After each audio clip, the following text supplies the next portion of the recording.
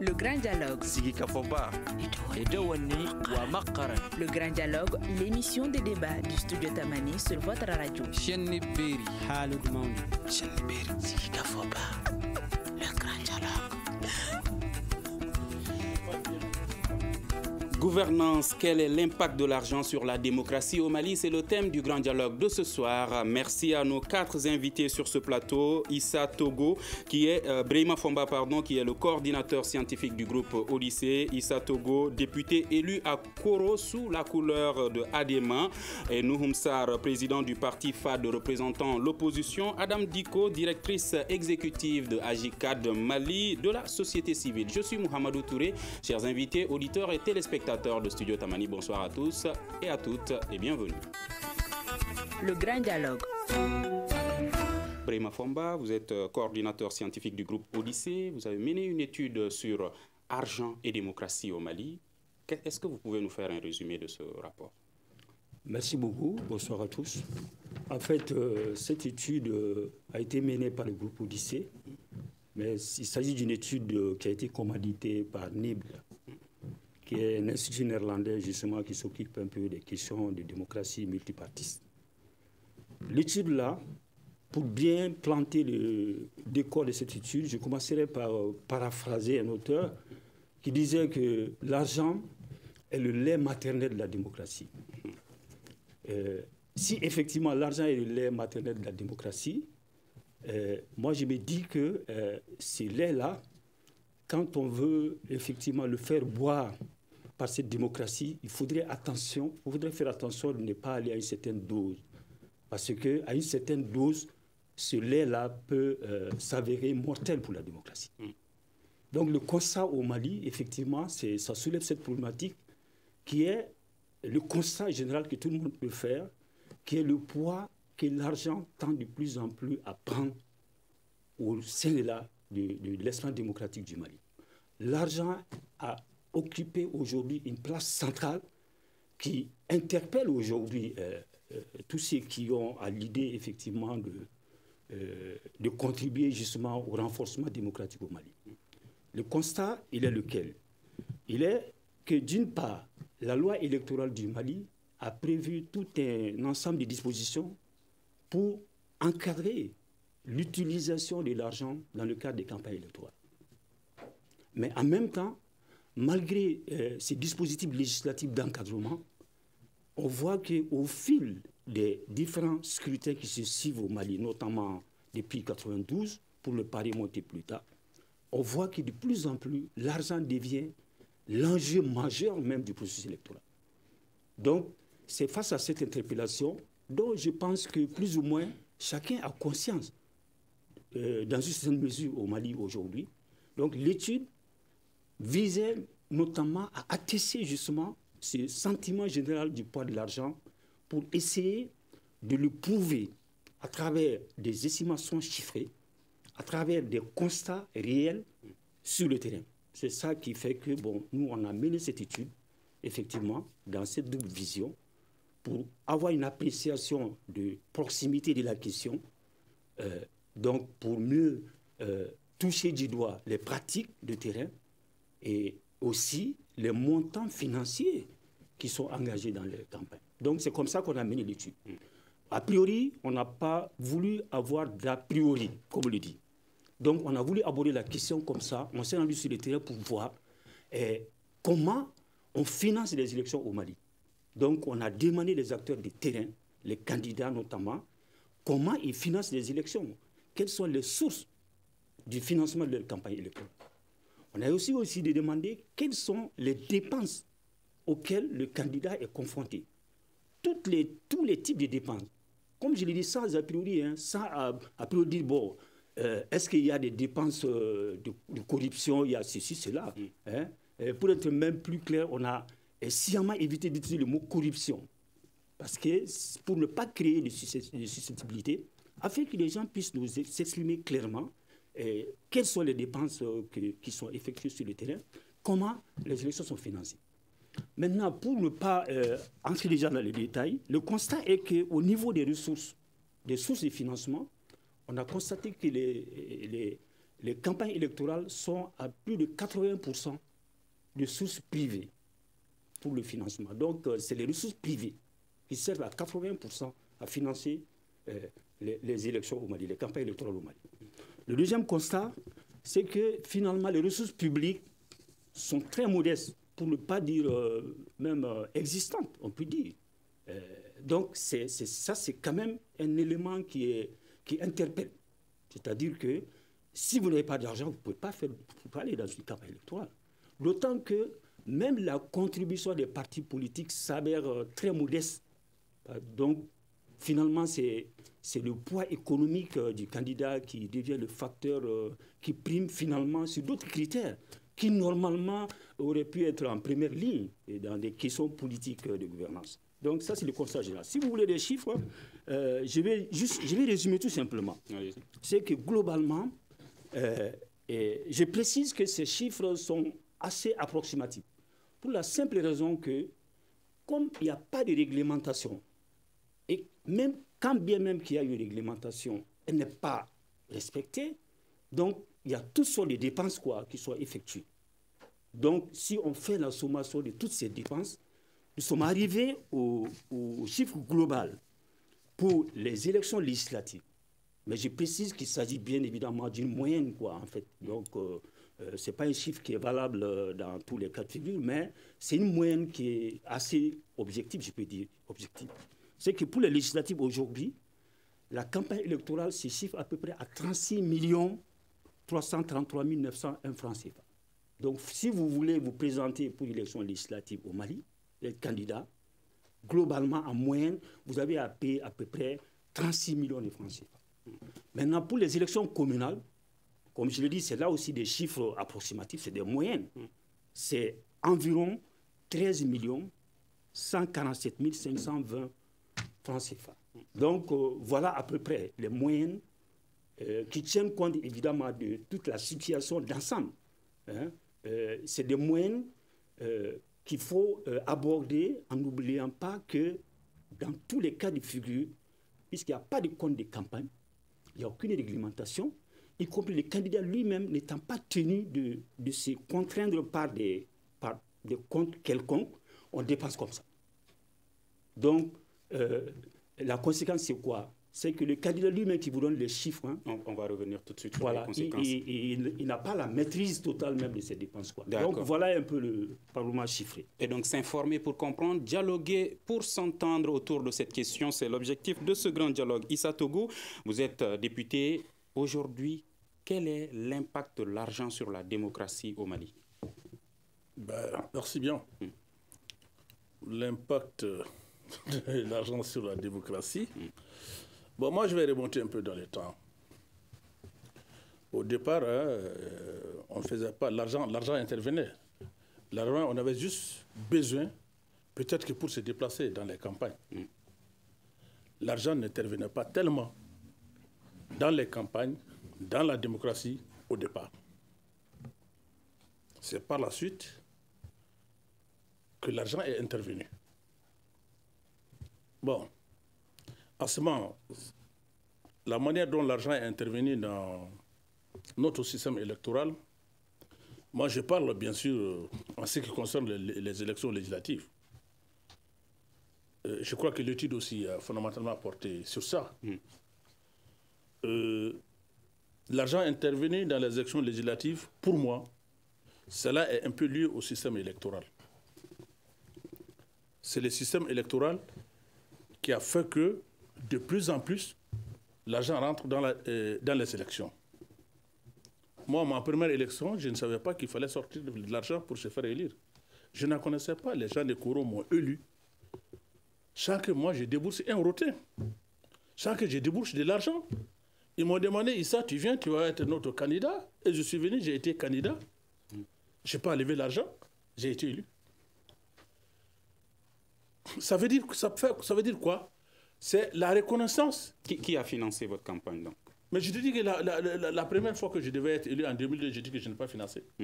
Moi, je n'avais pas financé du tout. Qui, qui l'avait fait? Juste les déplacements pour prendre du carburant, pour aller de village en village, pour expliquer aux gens, voilà, c'est lui, Issa, et j'ai tel projet pour Kouro, c'est tout. Sinon, je ne donnais pas du, sel aux gens, je n'avais pas du sucre aux gens. Ça, ça n'existe pas en son temps. En 2002, je ne l'ai pas fait. Mais au moins, j'ai le minimum quand même pour payer mon carburant pour aller chez les gens. et traditionnellement. Ça, c'est votre cas. Mais quand vous euh, analysez la situation de façon globale, aujourd'hui, avez-vous l'impression que les élus achètent plus les voix plutôt que de les convaincre? J'ai dit que je viens dans le temps, j'ai dit que c'est lié au système électoral. Hmm. Donc ça veut dire que on se reconnaît à quelqu'un par rapport à une localité donnée, par rapport à un lieu donné. Hmm. On veut qu'il soit élu. Il n'y a pas d'argent là-dedans. Mais maintenant, vous, vous êtes un Nara, vous voulez aller vous faire élire à Koro. Koro ne vous connaît pas, les gens de Koro ne se reconnaissent pas en vous. Vous avez beaucoup d'argent pour, vous faire élire par force là-bas. Vous serez obligé de débourser de l'argent. Vous, voulez, vous allez tenter d'acheter la conscience des gens à ce moment que l'argent est rentré. Donc, ça veut dire quoi?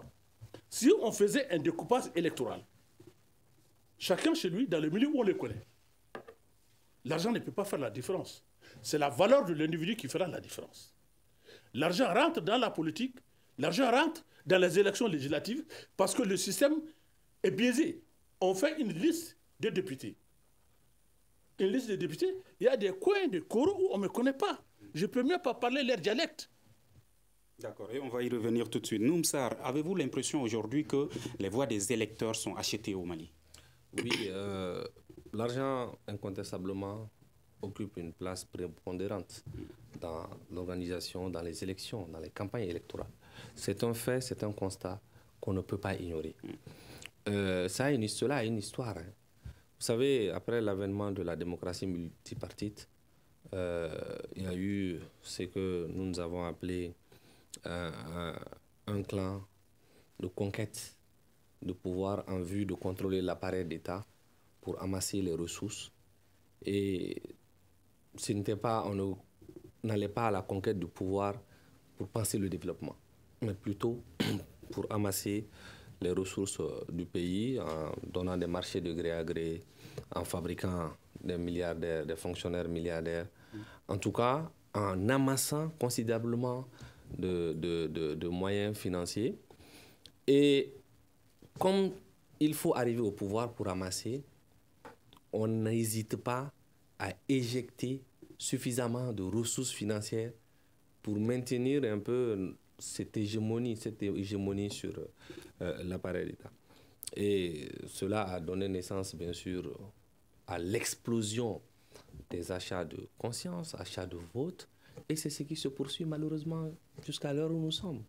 Nous avons fait la preuve, nous avons vu la preuve avec les élections, les élections présidentielles passées, les élections législatives passées.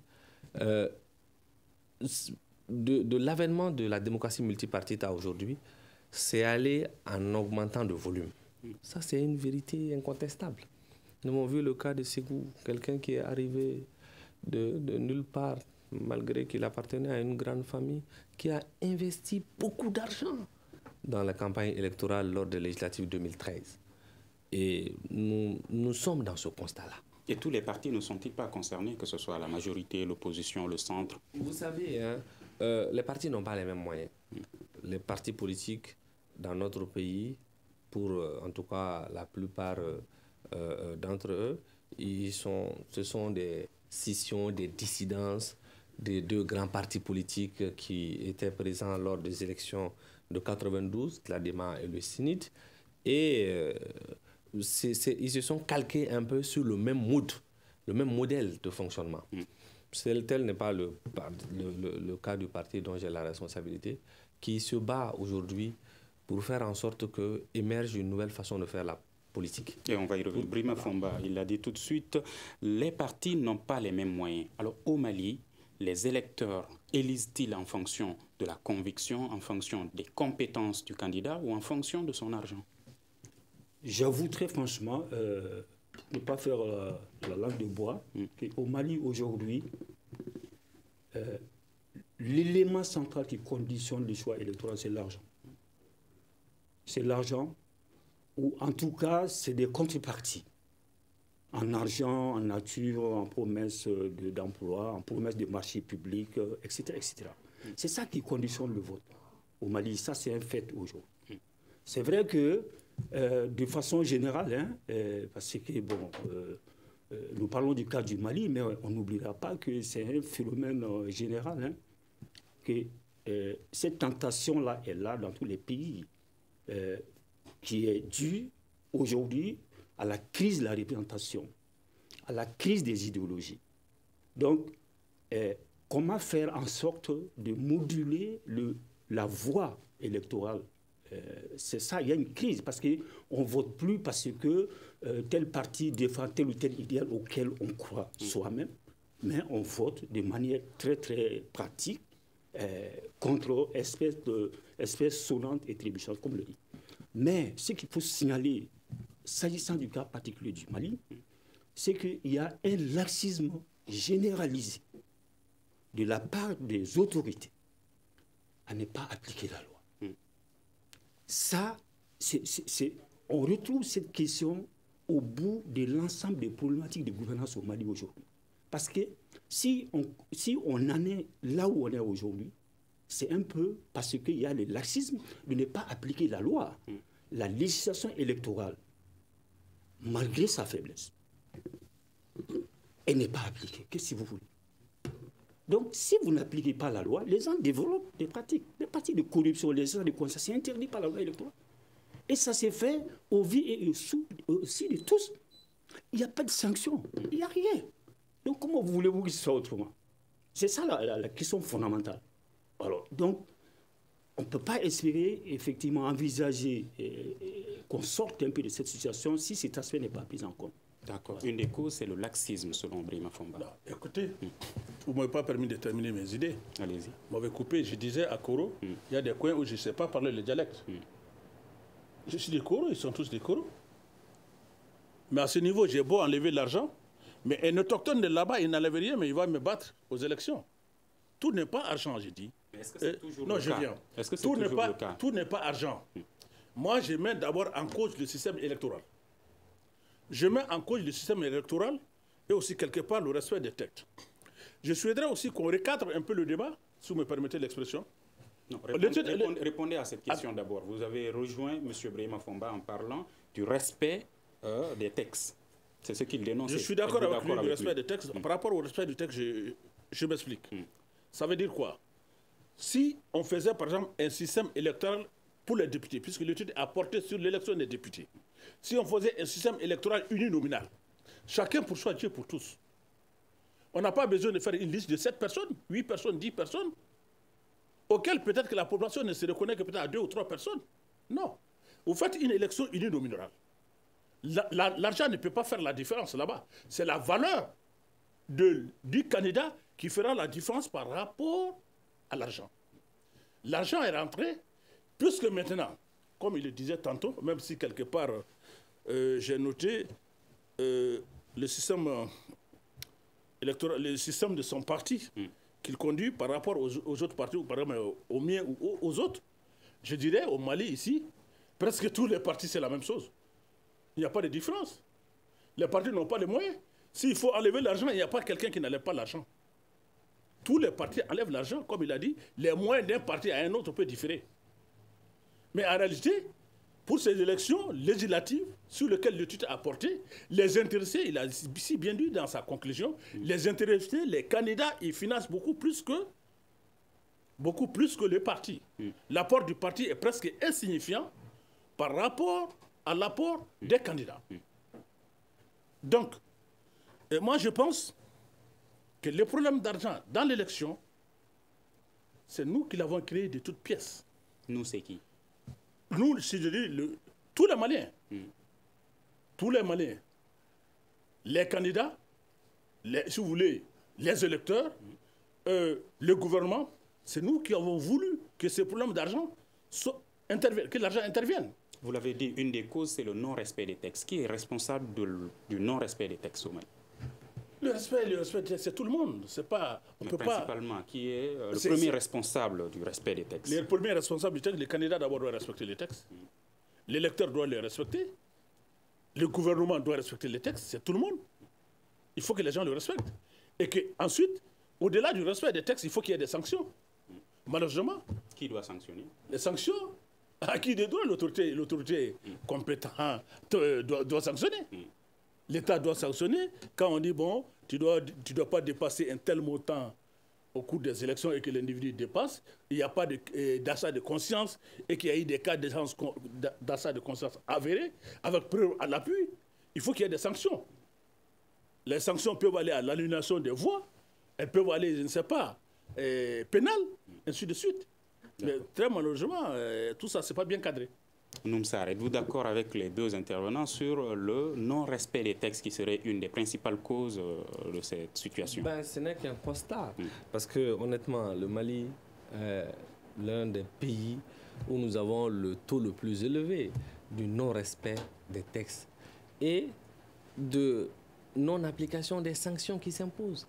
Le respect des textes incombe certainement à tout le monde, mais la sanction du non-respect des textes incombe à l'État, à la puissance publique. Tel n'est pas le cas. Pourquoi on ne respecte pas les textes? Parce que ceux qui sont en charge, en principe, de sanctionner sont les premiers à les violer. Ça, c'est une réalité évidente. On ne peut pas euh, euh, le nier. Vous savez, nous sommes dans un pays où le pesanteur social et culturel agit de façon visible sur la scène politique. Nous sommes dans un pays où vous passez votre temps à piller les ressources. Vous êtes un douanier, vous volez beaucoup d'argent. Vous êtes un directeur d'un projet, vous volez beaucoup d'argent. Un beau jour, pour avoir l'humilité parlementaire, vous vous engagez dans la conquête d'un siège de député. Vous verrez que dans votre entourage, les chefs de village, les notabilités, tout le monde se met derrière vous. Et on combat celui qui, pendant des années, s'est soucié des questions de santé, d'éducation de la communauté. C'est une réalité évidente. Mais ce n'est pas tombé du ciel. Il y a des responsables. C'est pourquoi je disais que la conquête du pouvoir politique dans notre pays a pour mobile aujourd'hui le contrôle des ressources du pays. Ce qui ne doit pas être en principe le cas. La conquête du pouvoir politique doit avoir pour mobile. Mais ces responsables sont-ils de la majorité comme de l'opposition je dis dans les parties de la dynastie Adémasnide. Bon, c'est un peu, un peu c'est une réalité. Mais certains, certains, cadres de l'opposition sont également passés par le gouvernement, ils ont dirigé euh, certaines structures, ministères. Est-ce qu'ils sont aussi responsables? Mais bien sûr. Hmm. Je dis les partis de la dynastie Adéma ont une forte responsabilité dans cela. Dire les choses telles qu'elles se sont passées, ce n'est pas porter atteinte à qui que ce soit. Mais c'est la vérité. Parce qu'aujourd'hui, le contrôle des ressources de l'État est le premier mobile de la conquête de l'exercice du pouvoir. C'est malheureux. La tendance doit changer. C'est pourquoi il faut l'émergence incontestablement d'une nouvelle vision politique. dans quelques instants. Madame Diko, merci de nous rejoindre. Vous êtes directrice de, exécutive de Agicat de Mali. Aujourd'hui, le thème c'est euh, gouvernance. Quel est l'impact de l'argent sur la démocratie? Quelle est votre analyse sur la situation au Mali?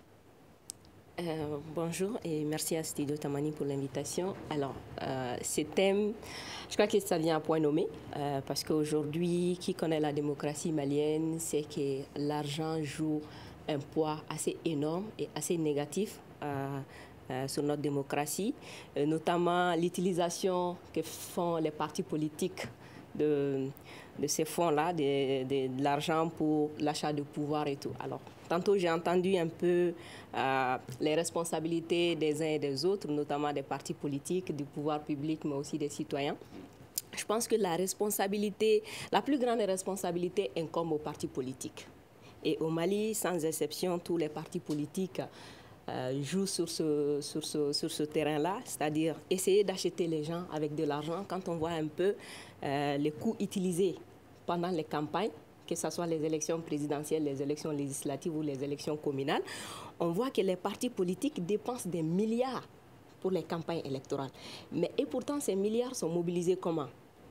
On ne se, on, se pose pas la question là-dessus. Ces milliards sont mobilisés comment?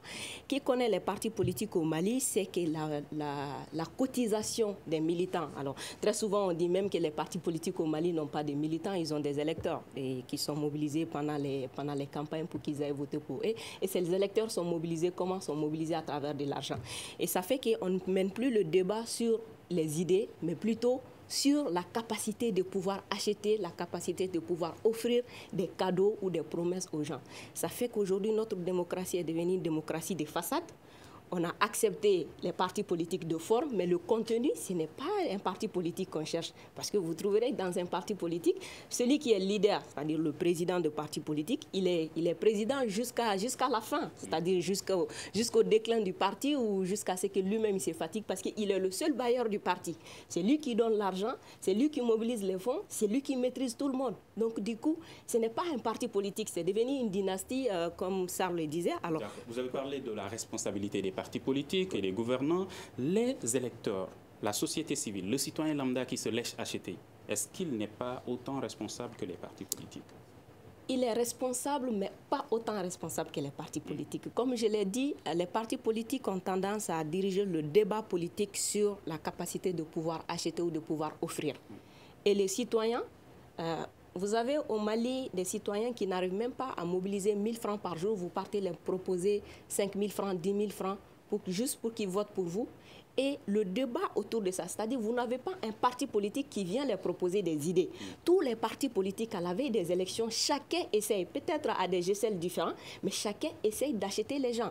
Et du coup, le débat, l'aspect politique est carrément euh, dominé par l'achat de conscience, par la, capacité de pouvoir offrir. C'est ce qui fait que les citoyens ne s'intéressent plus. Aussi, il y a ces désintérêts complet des citoyens vers les, hommes politiques ou la, euh, la, chose politique, qui se disent que tous les partis politiques ou tous les hommes politiques, ils sont tous pareils. De toutes les manières, quand ils viennent, ils viennent pour s'enrichir. Autant pour nous, pendant les élections, qu'on profite d'eux. Parce que c'est le seul moment où les hommes politiques courent derrière les citoyens. Après cela, ils ne les voient plus. Donc c'est l'occasion aussi pour ces citoyens de se dire, ben, tiens, c'est le moment pour nous aussi de se faire un peu d'argent. N'est-ce pas un échec aussi des organisations de la société civile qui doivent s'impliquer dans la sensibilisation? c'est un échec de, de, de, tous les acteurs de, la démocratie. C'est un échec des organisations de la société civile, des partis politiques, du pouvoir, mais aussi des médias. C'est vraiment un échec collectif. Et pallier à cela, c'est seulement qu'il y ait des sanctions. Il y, a des, il, y a, il y a des sanctions qui sont prévues pour de tels cas. Si c'est avéré, il faut qu'il y ait des sanctions. Mais tant qu'on est dans l'impunité et surtout que c'est encouragé de tous les côtés, pas que des citoyens, même souvent pendant les élections, on a aussi des médias ou des hommes des médias qui se font acheter par les politiques ou par mm. les politiciens. Mm. Donc du coup, c'est vraiment à tous les niveaux, des opérateurs économiques qui viennent et souvent ce n'est même pas à face cachée, c'est visible, souvent c'est même avec fierté. Donc tant qu'il n'y a pas de, de, de sanctions, Tant que ça, c'est encouragé par toute la population, c'est un échec collectif, pas que de la société civile. Brima Fomba, est-ce que vous, pouvez nous parler d'autres causes aussi qui sont différentes du non-respect des textes notamment? Bon, vous voyez que dit que pour bien euh, appréhender cette question-là, il faut avoir euh, euh, un état d'esprit assez large, quoi, parce que c'est un phénomène qui s'avère multidimensionnel en réalité. Il y a beaucoup d'aspects dedans. Euh, ça va jusque dans des aspects euh, sociologiques. En tout cas, on peut euh, intégrer ces dimensions pour essayer de comprendre. Hmm. Moi, je vous donne un exemple. pendant nos enquêtes de terrain, on a été parfois surpris de certains propos. Il y a certains électeurs, au cours de nos échanges, on s'est rendu compte que l'argent que les candidats dépensent pour être sur les listes, hmm. parce qu'il faut payer l'argent pour être sur les listes ça va de 10 millions à peu près, comme je l'ai dit, hein, c'est une moyenne, 10 millions pour les législatives, jusqu'à de 1 million 500 à 500 000 pour les élections euh, locales, en fonction de la position sur la liste. Comme ça, c'est le scrutin proportionnel. Donc vous voyez, et souvent ces montants, ce sont les électeurs, disons, ce sont les militants, quelquefois, qui ont poussé à la hausse de ces montants-là. Pourquoi? Parce qu'ils se disent, mais non, c'est un indice de solvabilité du futur élu, donc du candidat et du futur élu, parce que euh, plus les montants seront euh, importants, plus on a la, les chances euh, d'avoir, de pouvoir régler nos problèmes par le candidat qui pourrait faire face à nos problèmes de, souvent même simplement pour les frais de nourriture, etc. etc. Donc, vous voyez comment l'électeur lui-même, le militant, contribue justement à, ce poids pris par l'argent. Donc, il y a toutes ces dimensions. Comment se fait-il que euh, dans notre société, euh, c'est pour ça que je ne suis pas sûr que je suis pas aussi optimiste que le député lorsqu'il dit que, effectivement, si on vers le scrutin uninominal, qui ferait que la taille des circonscriptions serait beaucoup plus réduite et du coup, le, candidat serait plus proche un peu de l'électeur. Mais les élections communales sont quand même là, sont, eh, eh, eh, sont un indice qui, qui témoigne de cette proximité, qui pour autant n'a pas abouti à un changement véritable des données. hein. Donc comment se fait-il qu'au Mali, les, les, les- citoyens vont vers quelqu'un qui a de l'argent? C'est tellement profond que parfois on a vu des gens pendant l'enquête qui disent que ah mais vous savez moi j'ai pas payé d'argent on est venu me solliciter pour être candidat parce que je suis dans la localité. Mais quand on a creusé qu'est-ce qu'on a constaté? Que cette personne là il y a cinq ans avant trois ans avant lui il est là à la charge de, sa population. Les questions d'eau d'addiction d'eau de trucs il règle les problèmes des gens. Donc, vous voyez que euh, le, euh, le fait que l'électeur aille vers lui, ce n'est pas parce que simplement il est, voilà, il est de la localité, il est, non, c'est parce qu'il a de l'argent. Il a les moyens, il a une capacité contributive de règlement des problèmes des gens. Donc, vous voyez que donc, il faut intégrer tous ces éléments. Et il y a aussi une autre dimension qui est, ce n'est pas les moyens privés. Cette fois-ci, c'est l'utilisation des moyens de l'État à des fins de campagne électorale. Là aussi, c'est une autre dimension hein, qui fait que bon, le candidat eh, n'utilise pas ses propres moyens, ni les moyens du parti, mais il utilise les moyens de la, de la collectivité publique, les moyens de l'État pour, pour, pour sa, sa campagne. Et donc, le pauvre a-t-il les mêmes chances que le riche de devenir candidat? Jamais. Sans moi, je réponds qu'aujourd'hui, si vous n'avez pas d'argent, vous ne comptez rien. Y compris au sein des partis politiques. Vous voyez, c'est ce qui fait que ça joue comme le militantisme parce que, vous voyez, c'est pour, vous voyez qu'il y a un phénomène qui se développe aujourd'hui. C'est quoi? C'est les indépendants. Vous voyez qu'à chaque approche des élections, il y a des indépendants. Pourquoi? Les indépendants, en général, c'est les dessus. C'est les dessus des partis. Et qui souvent, très militants, se sont engagés pour le parti, mais au jour J, mais parce qu'ils n'ont pas d'argent, ils sont, ils sont laissés à l'écart. Donc, ces gens-là se retrouvent dans le lot des indépendants. Euh, donc, c'est vraiment un problème. Mais pour moi, ce problème-là ne va se régler. Bien sûr qu'il faut d'autres éléments, la sensibilisation, la formation, etc. Mais honnêtement, moi, je ne crois pas trop à ces choses. hein. Au Mali, on est dans la sensibilisation, la formation. Mais ce qui ne marche pas au Mali, il faut qu'on rentre dans la sanction. Il faut qu'on rentre dans la sanction. Monsieur Issa Togo, euh, est-ce normal que le pauvre et le riche n'aient pas le même, les mêmes chances de devenir candidat à différentes élections au Mali? Non, merci, M. Touré. Je disais au départ ici, vous me permettez, que je, je suis là en tant que député, mais aussi je suis élu d'une couleur. Je vais quand même un peu répondre à M. Sa. Il a dit euh, qu'il s'agit des partis de la dynastie Adema et Sidite. Moi, je lui réponds. Pour le dire, ce n'est pas une question de parti, c'est une question de valeur. Une question de valeur, de morale et d'éthique. Les partis, ce n'est que des cycles. Quand tu prends Adema, c'est A, D, E, M, A. C'est des cycles. C'est des valeurs. Je te disais que je suis venu à l'Adema en 2002, là. Si c'est pour le pouvoir, je peut-être que je n'allais pas venir. L'Adema aurait perdu, a perdu son pouvoir en 2002. Donc, à Donc, votre avis, c'est ce tous que les moi je partis dis- qui sont concernés. Je dis, Et donc, voilà, qui disent tous les partis. D'accord. Et donc, aujourd'hui, est-ce Il que faut vous qu'ils pensez disent que... tous les partis sans exception. Est-ce que vous pensez son que... parti, il n'a pas les moyens. Monsieur- Monsieur Togo. Il est naissant, Mm. qui, sait- qui, qui sache avoir les moyens. D'accord. Est-ce que, que vous pensez qu'il est normal que le pauvre et le riche n'aient pas les mêmes Je vous chances? dis, et moi je le répète, moi pour moi, de mon point de vue, tout n'est pas argent. Oui, l'argent est rentré dans la politique. En, 2000 en Et 92, il occupe quand. Alpha se faisait élire, Alpha n'avait pas d'argent. Si c'est l'argent, Alpha n'allait pas être élu. Je vous dis, c'est les valeurs. C'est des valeurs, on a laissé faire. On a laissé faire à telle enseigne que il n'y a plus de valeur. Les médiocres sont devenus les premiers. Il s'agit là, c'est un problème de gouvernance, de gouvernance que je veux dire. Et les gens ont laissé faire jusqu'on est arrivé à un certain niveau. Comme vous dites, beaucoup se sont enrichis. Les gens se sont enrichis. Maintenant, ils vont aller chercher la voix du peuple. C'est ce qui se passe. Ce n'est pas l'apanage de l'ADEMA, du RPM, du CINID, je ne sais pas, de URD, de ceci, cela. C'est de tous les partis. Et certains pensent que c'est Tous la les raison partis, pour aucun parti laquelle ne fait les exception. candidats, une fois élus, s'intéressent beaucoup plus à leurs intérêts personnels qu'aux intérêts du public. Ça, je ne le crois pas non plus. Hmm. Est-ce que vous, vous croyez ça, Moi, non, Noumsa moi, je ne le crois pas. Je D'accord. m'explique. Noumsa va ré- C'est une- réagir là-dessus. C'est une évidence. Quand vous parlez de valeurs, mais un parti politique, sa première mission, c'est d'incarner des valeurs. Bien sûr. Vous dites l'ADEMA a quitté le pouvoir. N'a jamais quitté le pouvoir. vous savez. Re- Revenons sur cette fait. question de responsabilité. Non, honnêtement, On- on- honnêtement, on va sortir de ce quitté le problème pouvoir, Adema et nous n'avons jamais vu à Si, je l'opposition. dis, je disais que je ne suis pas là en tant que depuis majorité. 2000. D'accord, merci pour ces précisions. On va évoluer. Là aussi, je suis prêt à discuter. Merci beaucoup. Merci Monsieur Togo, merci Monsieur Sarr. S'il vous plaît, est-ce que vous pouvez répondre à la question? Monsieur Togo? Voilà, il va répondre à la question. Merci. Votre question? Je demandais aujourd'hui, est-ce que c'est ce qui fait que, selon certains, une fois que les candidats sont élus, ils s'intéressent beaucoup plus à leurs intérêts personnels qu'aux intérêts du Mais public? c'est c'est évident. Parce que quand vous déboursez toute une fortune pour avoir un poste, votre premier réflexe, une fois au poste, ne sera pas de penser le développement, le progrès, mais ce sera de rentrer dans vos fonds.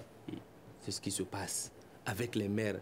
Le plus souvent, je n'ai pas vu l'étude parce que je n'ai pas tout lu, le, le montant des fonds investis dans les élections communales est quelquefois supérieur au montant investi dans les élections législatives. Parce que quand on contrôle une mairie, on a un patrimoine foncier et c'est beaucoup de sous aujourd'hui au pôle économique. Vous avez vu, beaucoup de maires sont derrière le- les barreaux.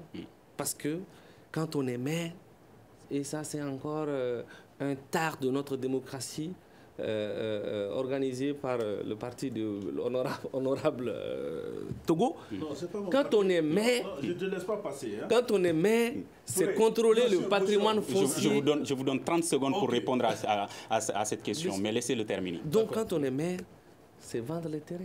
Les maires sont connus par ça. Le maire, donnez-moi. Mais c'est important aussi parce que les citoyens ont leur part de responsabilité. Moi, Noumsar, aujourd'hui, mon combat n'est caché à personne. Euh, mais à chaque fois que je vais à l'encontre de la population, à l'encontre des jeunes, et pour leur dire le moment est venu pour qu'on puisse prendre notre destin en main, vous savez, vous quittez, euh, une semaine après, on vous appelle pour des ordonnances. On vous appelle pour vous demander, pour vous dire, bon, telle moto est en panne, je dois faire ceci, je dois faire cela.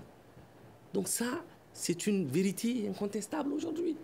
D'accord. Adam Diko, alors donc si le niveau de responsabilité est partagé, que ce soit les médias, la société civile, les partis politiques, aujourd'hui, qui joue bien son rôle? Dans la démocratie malienne, je pense que chacun euh, tente de jouer son rôle, mais je ne vois pas d'acteur qui joue bien son rôle. Et, et comment changer la donne pour que la situation puisse changer? Alors que chacun connaisse déjà c'est quoi son rôle.